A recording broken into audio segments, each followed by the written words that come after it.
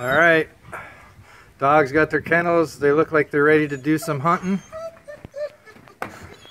Yeah, they're ready to go.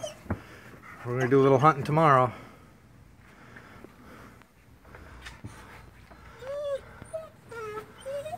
What do you think of your kennel there, Brookie?